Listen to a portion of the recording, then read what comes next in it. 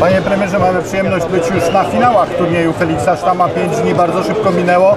Jakie emocje związane z całym turniejem, z tym co dzisiaj mieliśmy okazję oglądać na samych finałach? Oczywiście same finały to już wielkie emocje, najwyższy światowy poziom. E, widać bardzo wyraźnie, że Polacy, polscy pięściarze też do, do do tej czołówki. Znakomita drużyna Uzbekistanu, tu bardzo wyraźnie widoczna, ale bardzo się cieszę, że właśnie pamięci Feliksa Sztama poświęcony turniej pokazuje, jak ważny jest sport, jak ważny jest boks.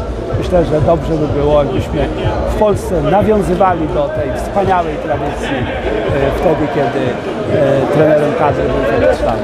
Jeśli chodzi o finały, to rzeczywiście było dużo polskich zawodników. W półfinałach jeszcze e, było dużo więcej, więc rzeczywiście ta kadra polska jest e, no, dość szeroka i mam nadzieję, to jest taki narybek. To jest też dobry sprawdzian przed Igrzyskami Europejskimi, e, które będą kwalifikacją do Igrzysk Olimpijskich, więc życzę, żeby jak najwięcej polskich zawodników zakwalifikowało się, osiągnęło dobry wynik w czasie Igrzysk Europejskich, kwalifikując się równocześnie na Igrzyska w Paryżu.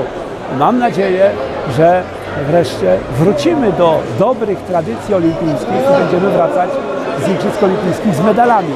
Myślę, że to, że ten boks się tak rozwija, jest tyle środowisk, gdzie boks y, y, trenują z wielkim zapałem. Ja też pragnę podkreślić, że boks jest jednak e, dyscypliną sportu bardzo mocno kształtującą charaktery.